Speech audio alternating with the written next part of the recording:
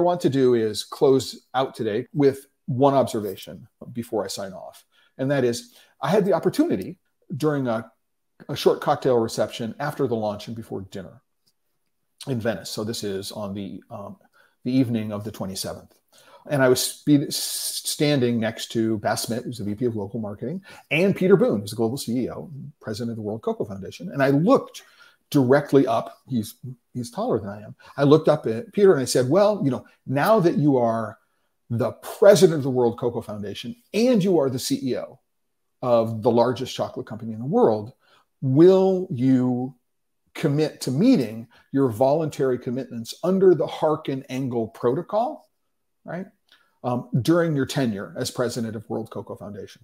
Now, I say you don't need to respond to me right now, and because I knew that he would not respond to me right now. But I think that the point that I want to leave with everyone here and from as a lobbying perspective, just in terms of talking about it. And it's a point that I really want to make to everybody who's in senior management at Global at, at Barry Callebaut, whether it's in marketing, whether it's at R&D, whether it's in sales, whether it's anybody who's involved in the board of directors. And I'm I'm, I'm getting, you know, uppity here, right?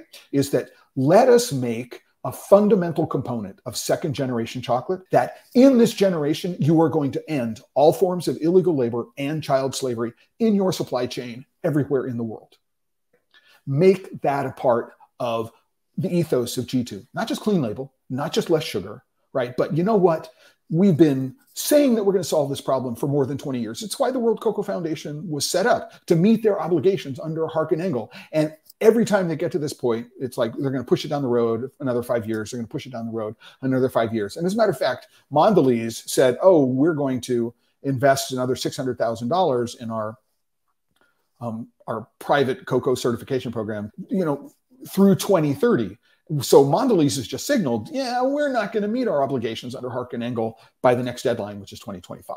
Right? We're pushing it another five years. So please everybody at Barry Callebaut, everybody who's watching this, everybody who has any interest in this topic, please let your let everybody at Barry Callebaut know. This is an opportunity to use the interest, the enthusiasm, right? Any momentum that you might be able to generate behind second generation chocolate to say, yes, we are finally going to solve the problem that we have been an enabler of for the last 20 years, although that's not proven in a court of law yet in the United States. And there's a Trafficking Victims Protection Reauthorization Act lawsuit, um, which is um, which has been filed and is currently undergoing the early briefing station. I had a chance to talk with Terry Collingsworth about this last week, but I think it's really, really important that we make that we make that request of Barry Callebaut. So if you have an opportunity to send a letter, to lobby, every time you see, to talk about it in, with customers of yours. This becomes a place, I believe, and this is important,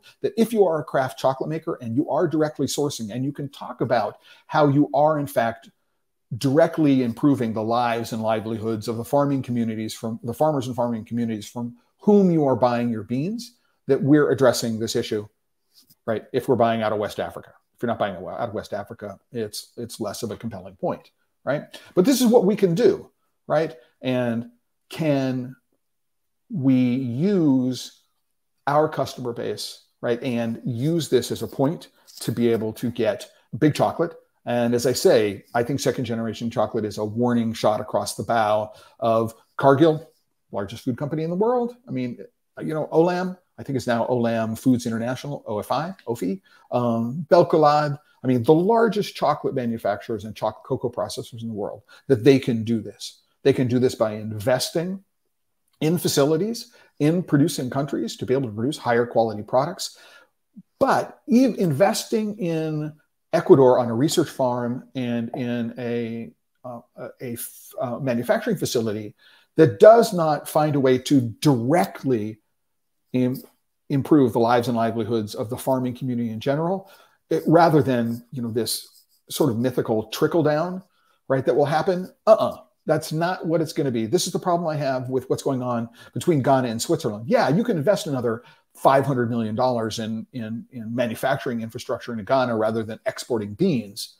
But that money is going to benefit the people who build the factories, the people who build the equipment that goes into the factories. It might benefit the people who are working in the factories. But not one thing have I seen in any of that says we're going to structure the investments to make sure that some of this money actually has a direct impact on the lives and livelihoods of farmers.